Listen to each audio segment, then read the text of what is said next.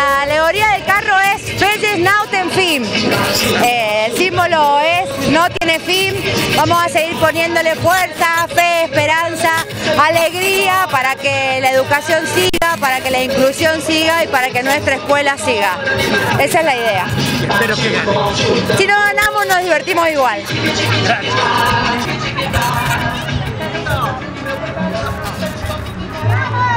Damas en 3, 2, 1, momento de presentarles a... Carros alegóricos. Después la situación para que así la sociedad tome conciencia de la misma. La escuela 4006 Pascual y Acarí. Amar nunca significó maltratar. Obviamente, haciendo una clara alusión a los problemas que atraviesa nuestro país.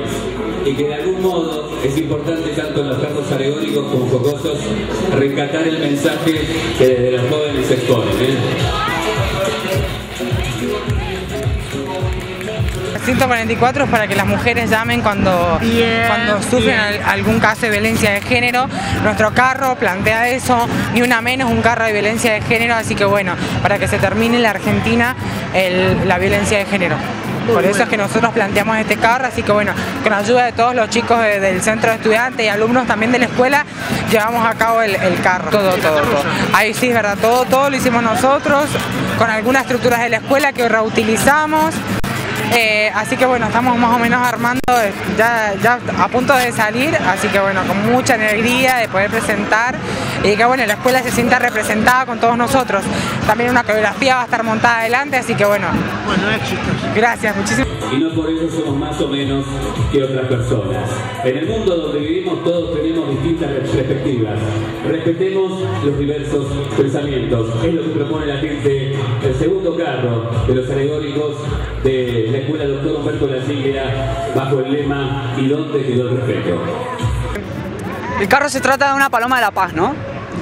Entonces, lo que vamos a hacer es que todos vamos a estar con nuestras ideas, eh, discutiendo y peleando. Entonces, cuando la paloma levanta las alas, por así decirlo, todos eh, nos ponemos a reflexionar, claro, y empezamos a aceptar la opinión de los demás. Claro, la idea es empezar a respetar un poco la idea del otro y no tanto criticarlo, sino respetar las ideas del otro. Muy bien, felicito. hacer integración social, eh, respetarnos todos entre sí y no somos rivales, no enemigos, en todo caso respetar las decisiones de todos.